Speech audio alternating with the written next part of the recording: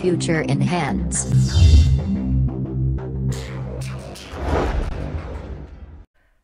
Hi, this is Vivekanand Sinha from Future Enhance.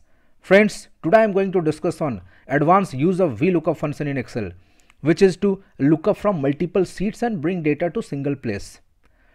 Lookup एक ऐसा function है friends जो हमारे सभी के ऑफ़िस में यूज़ होते हैं और हम इसे काफ़ी टाइम से यूज़ करते आ रहे हैं सो so, आज हम देखेंगे how to use this function in some advance way मेरे सामने तीन सीट्स हैं जनवरी फेबररी एंड मार्च और ये तीनों सीट्स में बेसिकली सेल्स पर्सन हैं और उनके रेस्पेक्टिव सेल्स हैं. रिक्वायरमेंट क्या है? इन द समरी सीट मेरे सामने सारे सेल्स पर्सन के नाम लिखे हुए हैं and we need to bring the data using V lookup to multiple sheets या फ्रॉम मल्टीपल सीट्स बोल सकते हैं टू मल्टीपल कॉलम्स ठीक है ना?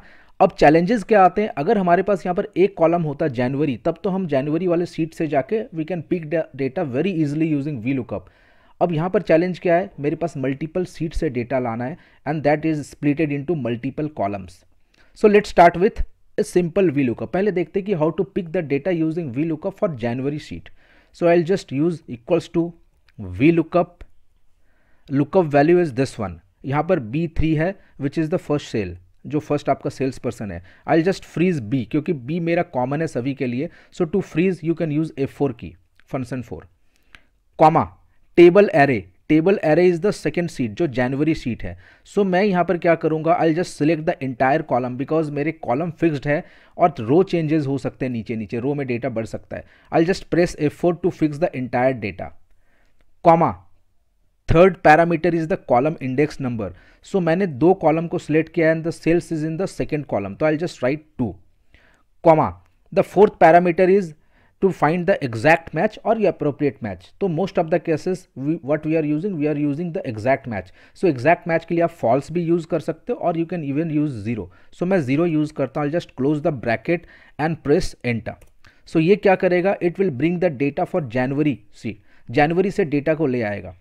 अब मैं नीचे ड्रैग कर सकता हूँ। नीचे ड्रैग करूँगा तो ये जनवरी का डेटा तो आ जाएगा बट फॉर फेबररी मुझे फिर से चेंज करना पड़ेगा and I need to bring the data from February sheet अब यहाँ पर आते हैं the role which I am going to discuss today कि किस तरह से हम इसको एडवांस में यूज़ कर सकते हैं।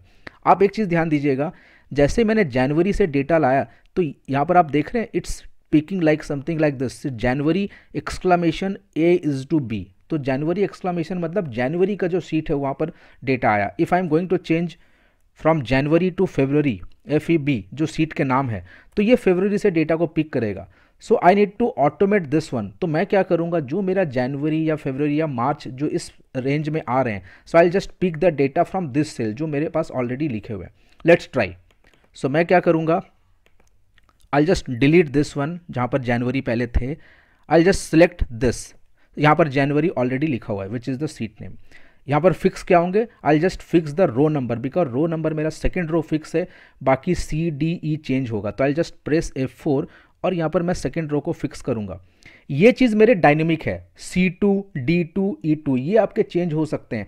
बट बाकी जो पार्ट है this portion this portion is fix throughout the columns so मैं क्या करूँगा? मैं इसे डबल कोट से इस चीज़ को फिक्स कर दूँगा बिकॉज़ ये मुझे चेंज नहीं कराने अब यहाँ पर एक चीज़ आपको ध्यान देना पड़ेगा C2 मेरा डायनेमिक है और राइट right साइड में मेरा ये फिक्स है और मुझे दोनों ही चाहिए I just press M percent M percent क्या करता है? ये आपको कॉन्कटिनेट कर देगा it will join the parameter so ये आपका अभी बन जाएगा January exclamation A is to B similarly अगर मैं सेम चीज़ को मैं इधर ड्रैक करूँगा it will become February exclamation A is to B जो हमारी रिक्वायरमेंट है। बट अब एक छोटा सा चैलेंजेस है। अभी जो हमने यहाँ पर एम परसेंट लगाया डबल कोट्स लगाया, ये आपके विजुअली आपका रेंज तो बना रहा है बट एक्चुअली मैं ये सेल को रेफर नहीं कर पा रहा, ये एक टेक्स्ट बनाया अभी।